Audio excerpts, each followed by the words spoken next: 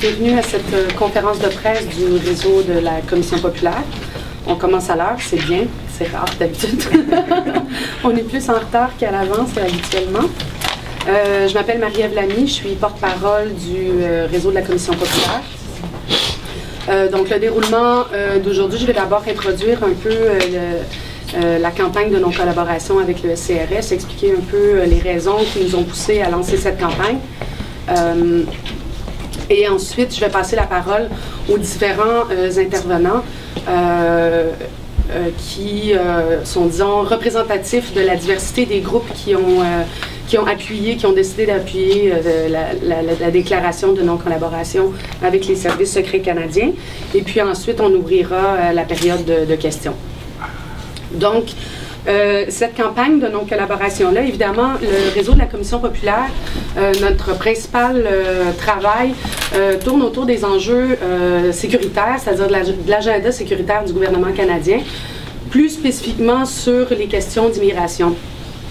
Donc, dans le cadre de notre travail depuis 2006, année de fondation du réseau de la Commission populaire, euh, dans le cadre de notre travail, on, était au courant évidemment que les services secrets canadiens euh, font régulièrement des visites euh, à des communautés racialisées, plus particulièrement depuis évidemment les attentats du 11 septembre 2001, plus particulièrement auprès des communautés arabo-musulmanes. visites qui s'apparentent vraiment à du harcèlement là, pour ces communautés-là. Et plus récemment, en 2010, dans la foulée euh, des mobilisations contre, euh, les, euh, contre les Jeux olympiques de Vancouver et, contre, et autour du G20, G8, G20 à Toronto, au réseau de la Commission populaire, on a commencé à recevoir de plus en plus de témoignages de gens qui recevaient des visites non annoncées des services secrets canadiens. Euh, ces visites-là se faisaient euh, tant auprès de militants euh, anarchistes ou ouvertement anticapitalistes, mais aussi membres de communautés autochtones, membres d'associations étudiantes, de syndicats ou groupes de solidarité internationale. Et ces visites-là se faisaient, comme je l'ai dit, non annoncées à la maison, donc euh, euh, au domicile des personnes, mais également, et euh, ça c'est encore plus dérangeant et questionnable, sur les lieux de travail ou encore chez des membres de la famille de, de ces personnes-là, des amis, des voisins. suite à ces témoignages-là aussi, ce, de, ce dont on s'est rendu compte, c'est que les gens ne savaient pas comment réagir et les gens ne savaient pas quoi faire lorsqu'ils reçoivent des visites euh, comme ça des agents euh, des, services secrets canadiens. Euh, c'est des, visites qui peuvent être assez déstabilisantes, déroutantes. les gens ont peur. Euh, savent pas, connaissent pas leurs droits face aux services secrets canadiens, étant donné, étant donné que leurs activités sont aussi secrètes. Donc, de là est venue l'idée d'émettre un avis communautaire, euh, un avis communautaire sur en suggérant euh, très fortement une attitude de totale non-collaboration dans le cas où on recevrait des visites euh, du SCRS. Donc, il y a eu cet avis communautaire-là qui a été émis, qui s'accompagnait d'un top 10 des raisons pourquoi ne pas collaborer avec le SCRS. le but de ces visites-là, en fait, euh, évidemment, le nom le dit, c'est de la cueillette de renseignements. Par contre, c'est de la cueillette de renseignements qui ont souvent aucun rapport avec euh, la sécurité au sens là, de, protéger la population contre des violences et des menaces. Euh, le but de ces visites-là est, beaucoup plus de créer des profils psychologiques, d'instaurer la méfiance et de créer des tensions au sein des groupes et des communautés, d'exacerber les divisions également entre euh, parmi les groupes ou entre les groupes, euh, de répandre des rumeurs, euh, de dissuader les gens de participer à des mouvements sociaux ou de s'associer à certains individus. également d'établir une source d'information au sein d'un groupe ou d'une communauté. Et ultimement aussi, c'est d'isoler des individus et des groupes par, rapport à leur par rapport à leur entourage. Et nous, donc, avec cette campagne-là, le but, les, buts de cette campagne-là est évidemment de, délégitimer les tactiques euh, du SCRS. Euh, mais aussi de démontrer, on s'est dit que si on, en, regroupant le plus de, groupes possibles qui, s'engageraient à, ne pas collaborer avec, euh, le CRS, que c'était une façon de démontrer une solidarité euh, envers les individus, les groupes ou les communautés ciblées. également, c'est un moyen de briser le silence qui entoure les activités du SCRS, c'est-à-dire si leurs tactiques sont connues, ben, elles ont moins, moins de chances de fonctionner. mais aussi de briser l'isolement.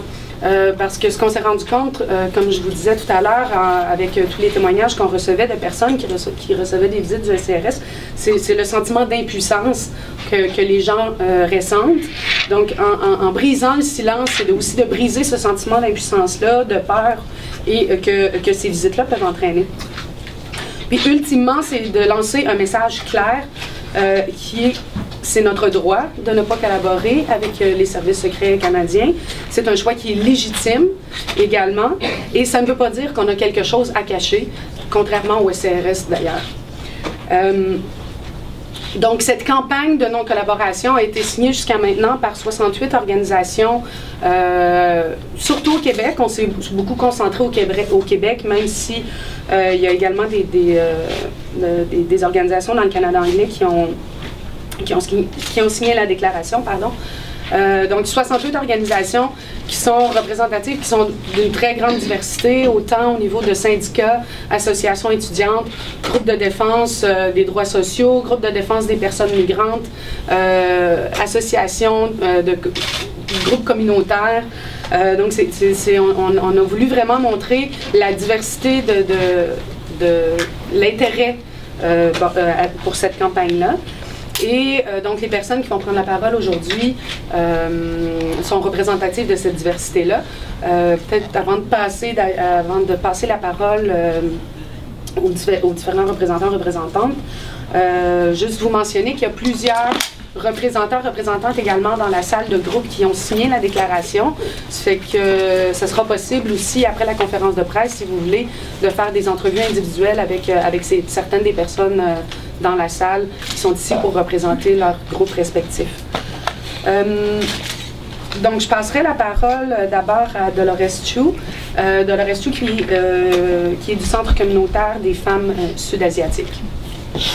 Okay, uh, good morning and thank you everyone. Um, as Maria has uh, said, um, you know, she's provided a very detailed context and background. I'm just here uh, to share with you uh, a few, for a few minutes the concerns that we have at the South Asian Women's Community Center about CSIS and their activities of dropping in on people uh, to collect information. Uh, we work with women who are citizens, who are immigrants, who are refugees and refugee claimants, uh, who come from the countries of South Asia, India, Pakistan, Bangladesh, Sri Lanka, Nepal, and uh, many of them have come to to flee various kinds of political persecution. Um, and even if they haven't, as uh, people who might not be totally comfortable in English and French yet, uh, or who may be facing situations of domestic violence, etc., there's a great sense of insecurity, precarity, uh, etc. And um, so, particularly post 9 11, with profiling of um, Muslims and uh, people from our communities uh, in the wake of the ethnic strife in Sri Lanka, branding of Tamils as terrorists, our communities have felt particularly vulnerable. And so we feel this initiative is very important that people get to know their rights, that if you are a Canadian citizen uh, and CSIS comes calling, you do not have to speak with them. And if you are not, you can uh, say that you will bring your lawyer. And so we feel very strongly about this initiative because we feel that CSIS is preying on our communities' insecurities, vulnerabilities. Uh, the countries that we come from already have a tradition where people feel they have no option but to comply with the uh, police and uh, the authorities and um, we know from our experience that CSIS uses, um, you know, fear, sowing seeds of, of mistrust, turning people one against the other, and of course, the, the track record of CSIS is, is far from perfect. We have very well documented cases that you all know about uh, rendition, uh, about people who are falsely uh, charge the use of torture to extricate all kinds of information. And so, for all these reasons, we find the situation totally unacceptable. Thank you very much. La prochaine donc à prendre la parole, euh, c'est M. Francis Lagacé, qui est deuxième vice-président du Conseil central euh, du Montréal métropolitain de la CSN. Bonjour tout le monde. Although I will make my brief speech in French, I will be available for interviews as well in English as well as in French after the press conference. Les syndicats euh, sont la cible des euh, services de sécurité euh, depuis euh, toujours. C'est comme si euh, les services de sécurité ne savaient pas faire la différence entre comploter et s'organiser. Des gens qui s'organisent pour s'aider, pour travailler, ce ne sont pas des gens qui complotent. Mais pourtant, toute l'histoire du syndicalisme, malheureusement, est ponctuée de la présence de services de sécurité qui ont essayé de les écraser. Alors ça commence avec les services privés des grandes entreprises et les services de police et de sécurité euh, des États. Ça commence euh, au 19e siècle comme ça. Au milieu du 20e siècle, on voit les services de sécurité, l'ancêtre de la GRC, qui cherchent des communistes parmi euh, les syndiqués. Il y en avait sans doute. Je ne pense pas qu'être communiste est plus grave qu'être catholique ou être musulman ou être socialiste ou être conservateur. Je ne vois pas pourquoi on les ciblait plus que les autres. Mais on sait aussi, comme ça a été très difficile à l'époque de Duplessis au Québec et où euh, le syndicalisme était euh, constamment sous la mire euh, des forces de l'ordre. Plus près de nous, on a vu euh, à la fin des années 60, les années 70, euh, les euh, membres de la GRC infiltrer tous les mouvements qui étaient un petit peu pour le progrès social. Et on a vu ce qui s'est passé avec euh, la crise d'octobre en 70, où on a emprisonné des syndicalistes pour la simple raison qu'ils étaient pour la liberté et pour le syndicalisme. Dans les années 80, il y a eu une infiltration d'un agent très célèbre dans la CSN. Il a travaillé au sein de la CSN longtemps. Ça, ça s'est découvert à la fin des années 80. Et encore un peu plus près de nous, euh, en 2000, il y a eu une autre infiltration euh, dans le syndicat des postiers, où il y a quelqu'un qui travaillait, qui recueillait du courrier pour ramasser de l'information. Et il y avait une dizaine de personnes là, dans le syndicat euh, des postiers qui avaient infiltré ce syndicat-là.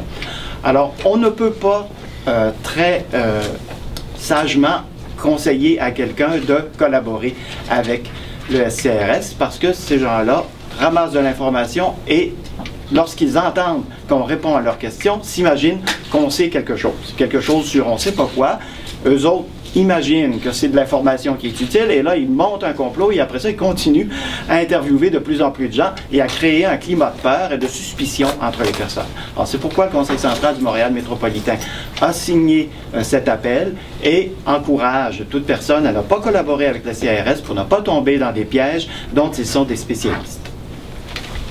Merci, M. Lagacé. La prochaine personne à prendre la parole, euh, c'est Amy Darwish, qui va s'adresser à nous en anglais, euh, qui travaille, qui milite en fait au sein de- du groupe Tadamon.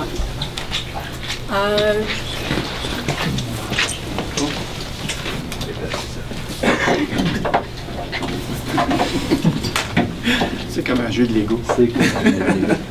J'ai bougé ton micro.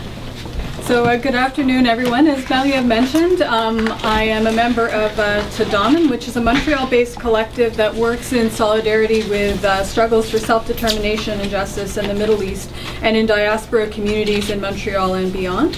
Um, I am here to speak mostly to Tadaman's um, experiences with CISA surveillance, CISA surveillance as well as uh, the role that uh, CISA plays in uh, curtailing international solidarity work.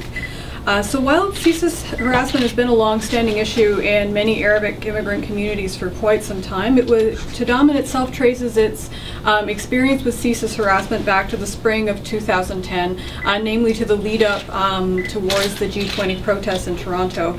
It was at this time that we began receiving reports that collective members were being visited by CISIS agents. Um, sometimes these agents would inquire as to the involvement of other collective members in organizing around the G20. Sometimes they would be soliciting character appraisals of their comrades, often insinuating uh, that they had a propensity for committing violent acts. Um, invariably, agents arrived um, unannounced, um, often in the early hours of the morning. In all instances, what these visits did was to foster a climate of paranoia and fear, and above all, they aimed to intimidate collective members and discourage their involvement in Palestine solidarity organizing. Um, unfortunately, um, CSIS harassment, where uh, Palestine Solidarity Organizing is concerned, is, is nothing new. Um, in fact, um, in many respects, the mandate of CSIS to collect um, information about foreign influenced activities within or relating to Canada that are detrimental to the interests of Canada um, readily provides a pretext for monitoring groups that work in support of national liberation struggles or anti-colonial movements abroad. Um, also, the definition that CSIS upholds uh, concerning what constitutes um, Canadian interests, what constitutes national security, and what may pose a risk to them is um, is a very narrow one and one that's influenced by particular. By particular priorities and interests. In fact, even the uh, the Security Intelligence and Review Committee, which is CSIS's own oversight body, has claimed that CSIS demonstrates a regrettable attitude that supporting Arab causes can be suspicious. Um, in this sense, uh, these comments highlight the extent to which people are profiled on the basis of their political beliefs and the extent to which community members can find themselves targeted for supporting the Palestinian struggle for justice and freedom. Um, furthermore, it's also worth mentioning that CSIS is involved in sharing information with intelligence agencies and secret services around the world. In fact, it maintains intelligence serving agencies with 147 others uh, other agencies, including not only Israel's Mossad, but also the Mukhabarats, or secret police of Egypt, Syria, and Morocco. Um, this can not only cause complications for people when they travel overseas, but can also put community members and their families at risk. It is for all of these reasons um, that Tadaman has decided uh, to endorse a non-collaboration um, stance with uh, respect to CSIS. Time and time again, we've witnessed CSIS's efforts to intimidate some community members and isolate others, to curtail solidarity work, to legitimate racism, to justify the expansion of government powers and um, support foreign occupation abroad. We've watched it create divisions to foster distrust and stifle dissent. Um, with this, for all of these reasons, we hope that um, the CSIS Watch campaign will be a way to break silence and isolation, um, as well as to speak out against the many abuses that are perpetrated in the name of national security.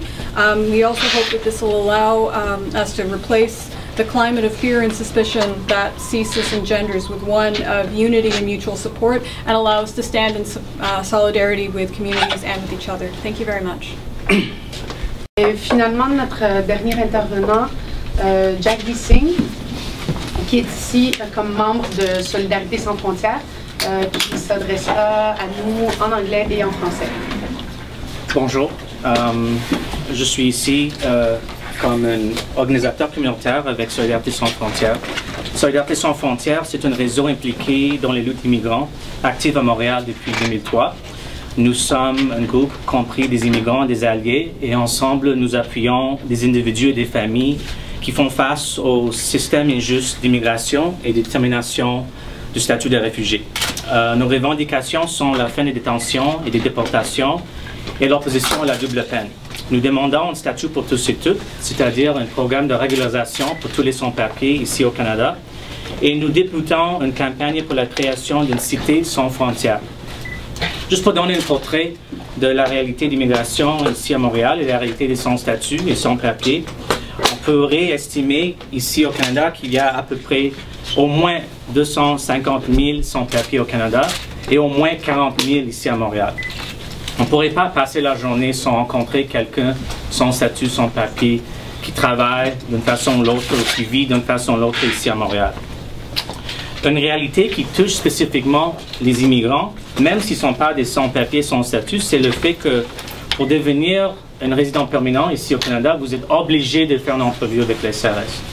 Et ça crée une situation très précaire, euh, une situation qui pourrait être exploitée et qui est exploitée par les CRS. Euh, depuis 2003, l'existence de, euh, de Solidarité sans frontières, on connaît au moins des douzaines et douzaines de cas de personnes qui sont obligées de faire ces entrevues qui sont les récipients des pressions par les CRS de devenir des taupes, de devenir des informateurs ou informatrices. Collectivement, cette réalité représente une énorme angoisse. Euh, le base de notre travail, c'est de briser l'isolement et la peur. Je pense que la base de tout notre travail, c'est de briser l'isolement, la peur. Et avec, euh, avec ça, on pourrait créer et organiser nos mouvements. Et c'est pour cette raison que Solidarité sans, Frontières, Solidarité sans frontières soutient sans hésitation la vie communautaire de la Commission populaire. Parce que c'est avec l'autodéfense communautaire face au SRS, c'est là où nous avons notre propre sécurité et euh, c'est l'arme, je pense, le plus important, c'est notre solidarité. Um, I'm here as a member of Solidarity Cross Borders, which is an immigrant justice group based here in Montreal. Um, I've just outlined in French uh, some of the realities very briefly um, regarding immigration and the refugee process, the fact that there are at least 250,000 um, non-status people living in Canada. There's at least 40,000 in Montreal. You can't pass a day without seeing somebody or knowing somebody who's non-status. Um, and beyond the people who are non-status, if you want to become a permanent resident, you're obliged to provide um, an interview or go through a security check. And that process itself is profoundly exploitative. It's where CSIS puts pressure on individuals to become informants, to provide information. It's when they go on their, their fishing expeditions. Um, Solidarity Cross Borders is familiar directly with dozens and dozens of these cases over the last uh, decade or so. And collectively, those cases represent profound anxiety, profound fear. Um, the starting point of, of any movement, I feel, is, is breaking isolation and breaking fear. And when you can break isolation and break fear, that's a starting point to begin to organize. And that's why we uh, support, without any hesitation, the uh, community advisory by the People's Commission Network. Just to speak a bit about the spirit of the advisory, it's, it's done in a spirit of support and understanding and dialogue. Um, it's trying to build community-based trust between our different groups. And it's there that we can provide uh, proper security uh, versus any kind of threat. Some of the important principles and starting points are recognizing that CSIS targets different communities in different ways. For example, I think it's important, important to recognize that from the very beginning of uh, considering national security, the Canadian state has always targeted Aboriginal communities. They've always been defined as a threat, as adversaries, as insurgents, and that continues to this day. Um, other speakers have outlined the ways in which different communities are affected, and I think it's important to recognize that. It's important to recognize that CSIS isn't our friend. We can look to renditions to torture uh, through cases like Abdullah al-Malki or Meher Arar, CSIS's complicity in torture, the treatment of Omar Kader um, at Guantanamo, where he was interrogated by CSIS and they were complicit in his torture there. And CSIS isn't incompetent. Um, you just have to look at the uh, investigation of the Air India bombing, um, look at uh, the few times where we're able to have um, CSIS agents testify and their totally misguided understanding of, of the Arab world. So I don't feel there's any particular reason why our community should show any sort of loyalty or support for CSIS. Um, the strategy basically of this community advisory is to render CSIS ineffective because no one speaks to them and no one listens to them. And this is a very modest beginning. There's about 68 groups or so that have endorsed this community advisory. But it, it's a modest beginning with an ambitious goal, which is to, to render this agency, which receives billions of dollars of funding, ineffective. Um, and to do so in a way where we're supporting each other, where we're dialoguing with each other, and we're promoting a whole other vision of what we mean by security and community safety that we determine within our communities and don't have imposed on us. Basically, uh, the community advisory represents, uh, for me, community-based self-defense. It's community-based self-defense because by maintaining our solidarity and maintaining our integrity as movements struggling for justice and dignity, that's where we can be uh, most effective.